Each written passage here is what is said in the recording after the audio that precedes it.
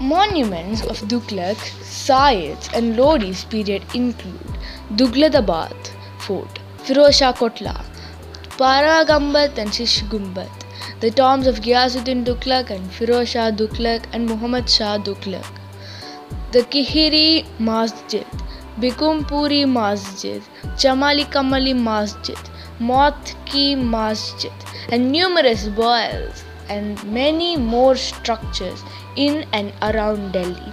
Moments of the regional kingdoms.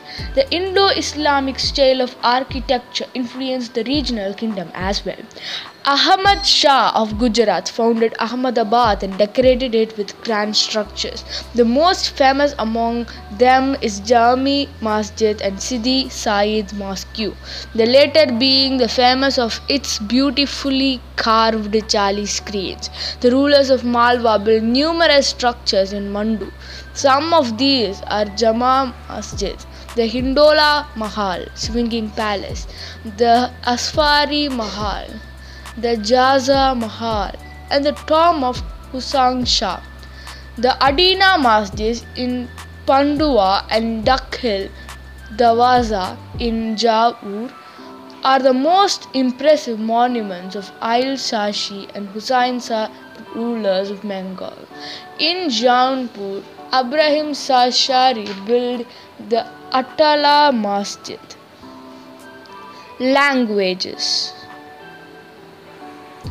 The Indo Islamic languages, mostly North Indian, started in emerging in 9th and 10th centuries.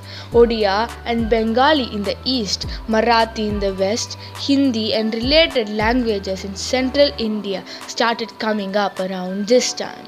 They developed from Prakrit, which in turn had developed from Sanskrit, and two forms of Hindi, Braj and Awadhi, became famous. The Punjabi and Sindhi also grew in importance. Other regional languages that developed were Assami, Kannada, Telugu, Malayalam, and Tamil. The Puranas, the Ramayanas, and Mahabharatas came to be translated in different regional languages.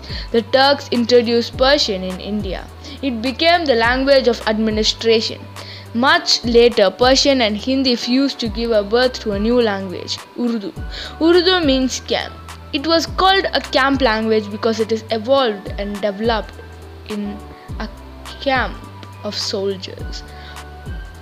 Urdu developed as a link language which was spoken and understood by all. So thank you friends. Meet you tomorrow with part 5. Bye.